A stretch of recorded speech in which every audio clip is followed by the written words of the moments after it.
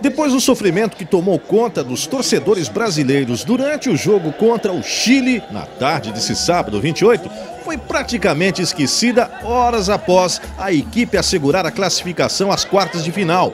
Uma multidão de torcedores fez um carnaval pelas principais ruas da cidade mãe do Paraná.